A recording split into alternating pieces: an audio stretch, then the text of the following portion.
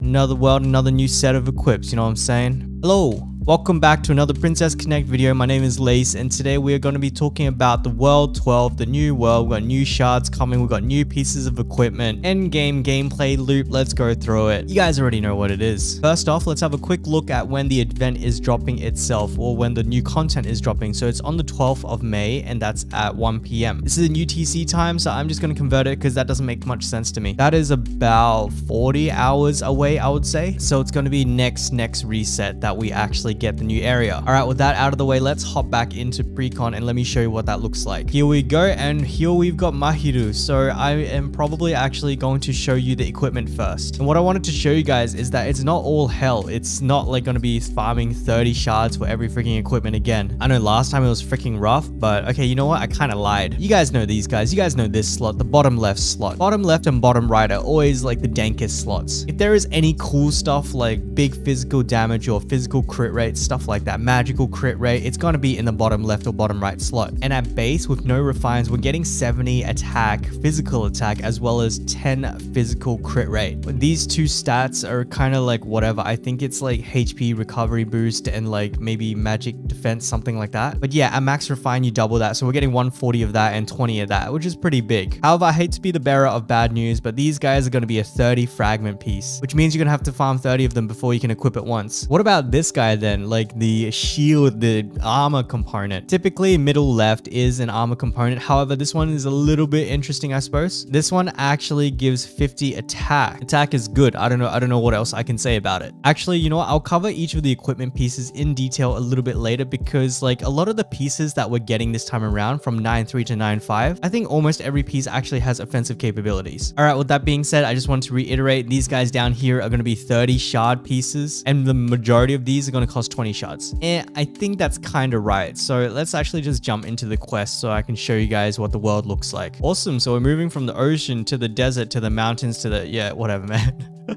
I don't know why I still do that. All right, let me jump over to hard mode and we are looking for map 12 Frick, that really escapes me. Okay. Oh, did you guys see that? That's pretty juicy. I've seen a couple of you guys asking, when can we farm Jun? Jun is in map 14, so that's about two months away. And we've got Djeeta in map 13, which is uh, next month probably. We also get our third Kokoro shard, which is really nice considering she's a real powerhouse, especially at five stars. Kokoro is just such a freaking good character. Like you can't go wrong with maxing her out. All right, let's go over to map 12 and we've got Mahiru, Shiori, and Akino. This is a blessing because Shiori nodes, as you already know, Shiori Shiori nodes are cursed. I don't know why, but you never get more than one shard from Shiori's node. The second node can only mean good things. However, it does mean that our stamina is getting stretched really, really frigging thin. As for Akino, yeah, you could farm her. You could go for the 4 star or the 5 star. But personally, in my opinion, if you're going to go for her, unless you like her, which I kind of do, you could just consider unlocking her at 3 star and calling it a day. Even with unique equipment, she's still not really that great. And her getting 4 or 5 star is just really not a priority. However, as I have said before, she definitely has her utility and uses in CB, which never stops surprising me to be honest. All right, with that out of the way, let's get into some spreadsheets because it's the only thing I know to be honest. So if I hop back over the normal mode, I'm gonna come back over here and we can see, you know, where is our dungeon? That's the first question. I believe that our next dungeon will be unlocked at probably area 13 or 14. For some reason, they added it in here just as kind of like an unlock requirement. However, following the original JP schedule, I think they did it at about 13 or 14. No real rush in my opinion, like the coin difference and the mana difference is not that much. However, what I am looking forward to for this one is the fact that there will only be five stages. So looking through dungeon like 10 times a day is kind of like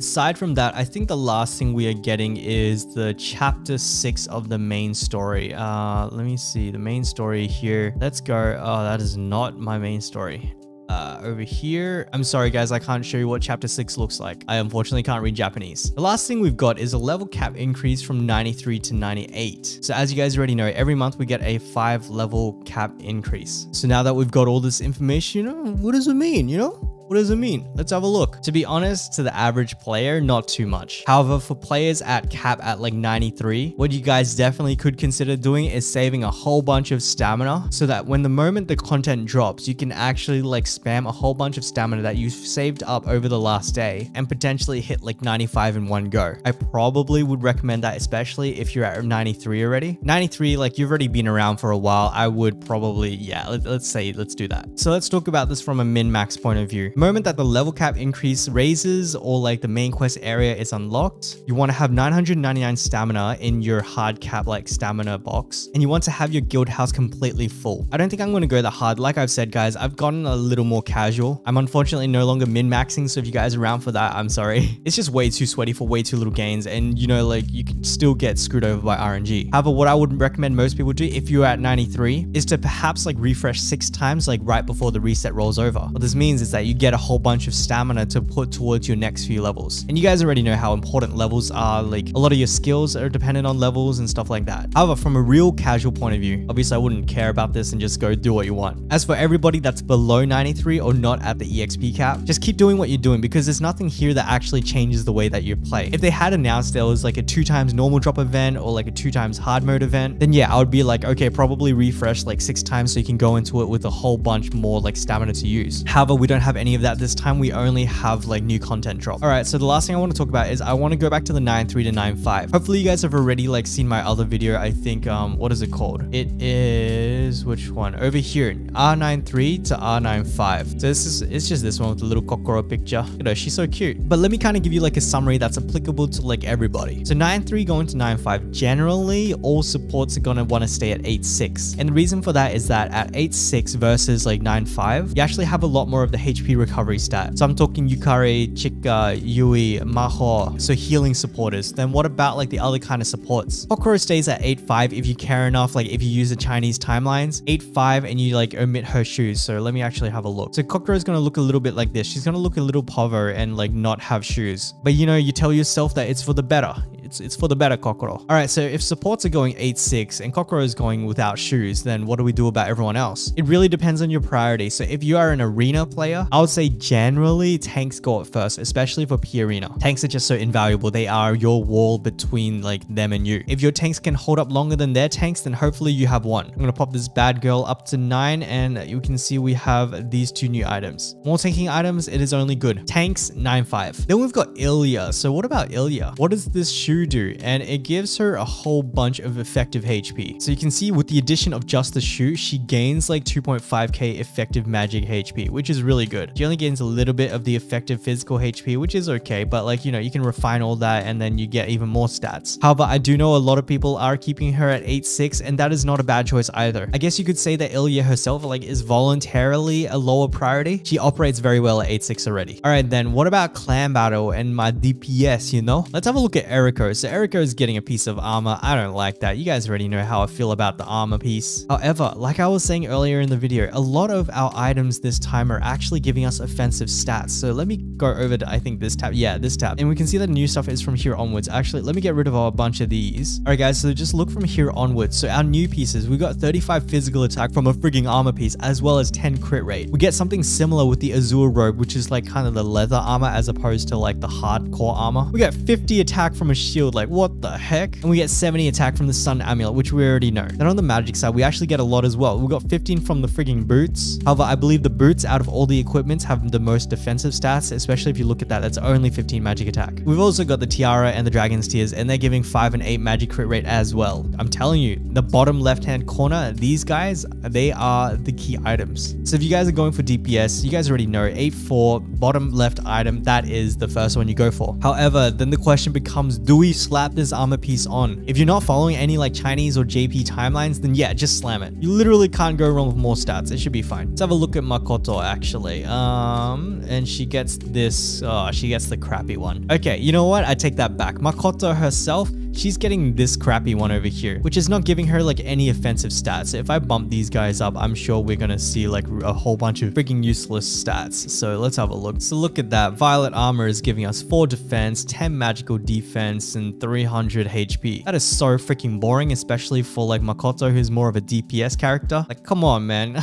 Why did you guys have to do my girl like that? I think you guys get my thought process. If you guys see the good one, which is this one, you guys could consider slamming it on. Honestly, like if your Makoto is dying for some reason, then you could slam that one too. But just know that this piece here does not have any offensive capabilities. Let's have a look at a mage real quick. Kyoka. All right, this one gives like some magic attack, which is nice. But Hatsune, same, same. We've, we've got Akari. Oh, she's got a good one. A nice little tiara. So she gets the crit rate up as well as the magic attack. So this is a really really great one. Akari really gets the good stuff, huh? Kiari's got the crappy boots, but they're not that crappy. Like it's better than Makoto's like piece of crap armor. Let's have a look at Miyako. It's all tank items. We like to see it. Hiyori, yeah, that's a good piece, I think. So that one is giving 45 attack as well as 10 crit rate. So all in all, I feel like it might just be Makoto that's getting screwed. Let's have a look at Mitsuki. The shield gives attack, 50 attack. Let's look at Pecorine. Pecorine gains that, but she's a tank. She wants that. We've got Shiori. Shiori is getting that one. That one's giving physical crit rate as well as damage. Hopefully the other archers will be the same. So let's have a look at Suzuna. Exactly the same. And I believe Arisa is going to be identical as well. Literally everybody is getting good stuff. Oh, Io gets the good crown. That's really nice. Saren, uh, yeah, lower priority. You guys already know my thoughts about Saren. Saren is a support. The only thing she's there to do is to like give the TP battery. Otherwise, her damage is lackluster. All right, guys, let's call it a day. That was a long video. Secret message. Hmm. Makoto, why? You guys could drop that secret message down in the comments below and help me question. why, Makoto? Why do you do us like that? I'd be really grateful. You guys have made it to the end of the video and I like that. That being said, if you guys have found this video helpful or mildly entertaining, consider a like, sub, comment. You guys know what it is. And as always, thank you guys so much for watching and I'll catch you guys in the next video. Bye bye.